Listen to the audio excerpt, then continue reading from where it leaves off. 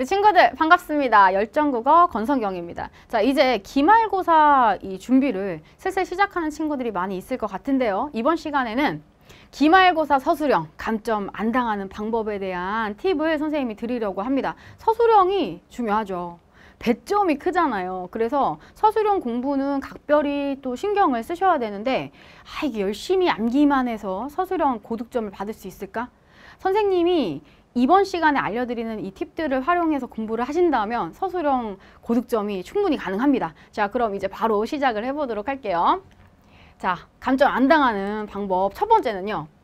눈으로만 보지 말고 손으로 꼭 쓰면서 공부를 하셔야 됩니다. 눈으로만 암기하는 게 되게 위험해요. 우리 친구들 중에서는 아무래도 시간이 좀 손으로 쓰면 오래 걸리니까 시간 아깝다는 생각이 들어서 눈으로만 이렇게 슉슉슉 여러 번 보고 암기를 했다고 생각하고 넘어가는 친구들이 좀 많이 있는데요.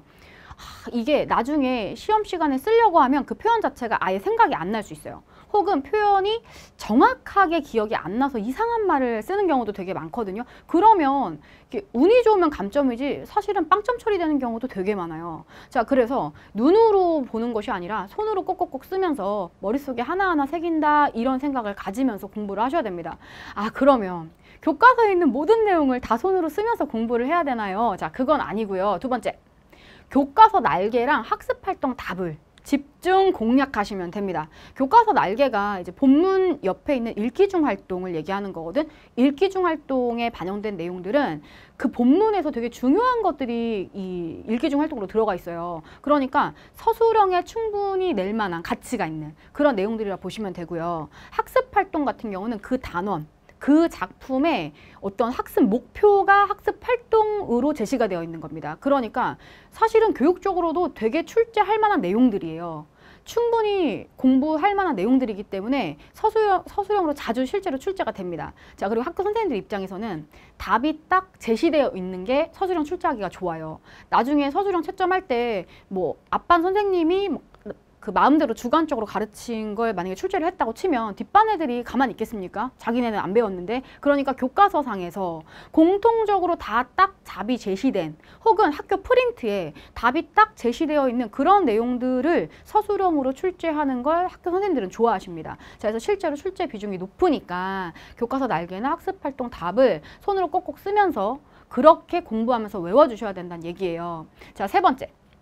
제발 제발 창작하지 마세요. 자기 말로 바꿔서 창작을 하면서 그렇게 암기를 해주시는 게 사실 내용 이해는 잘 될 수도 있는데 속도도 좀 빨라지 공부 속도도 빨라질 수 있긴 한데 서술형 공부로는 굉장히 적합하지 않습니다. 서술형은 교과서나 학교 프린트에 있는 표현 그대로 쓰셔야 답으로 인정돼요.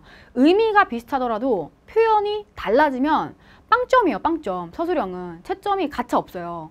그래서 의미 비슷하다고 다 인정해주면 애들마다 다 다른 답을 쓸 텐데 그럼 채점의 공정성이 객관성이 생기지 않잖아요.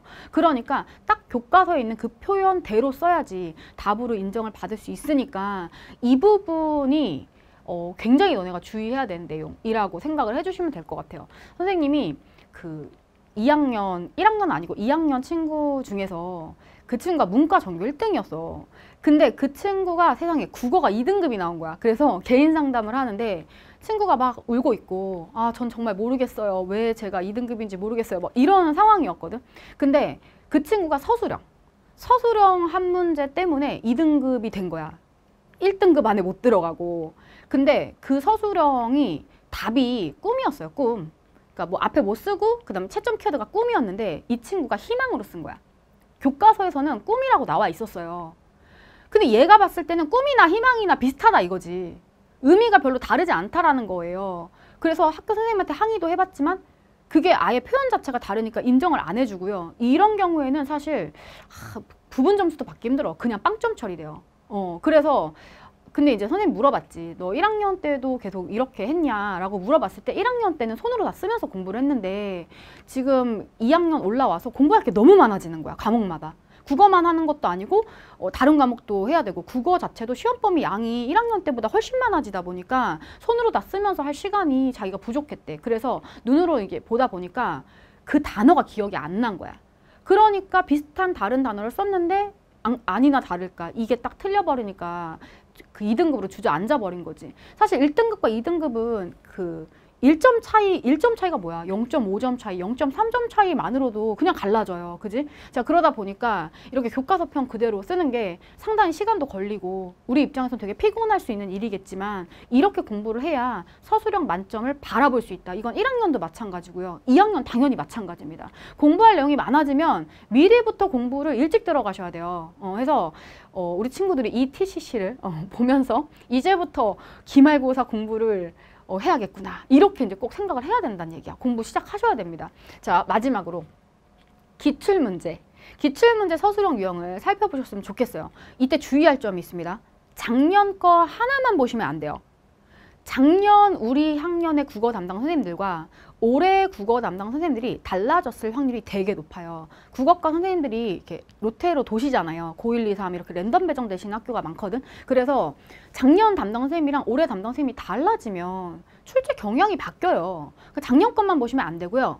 한 재작년, 재재작년 거, 최근 3개년 정도는 보셔야 돼요. 3개년 정도면 올해 우리 담당 선생님들이 다른 학년 담당했다가 뭐 이렇게 또 다시 1학년 담당했다가 그 안에서 이렇게 도시는 그 기출이 다 그 도신 도셨을 때 출제하셨 출제를 하셨던 그 기출이 다 들어가 있을 확률이 높거든요.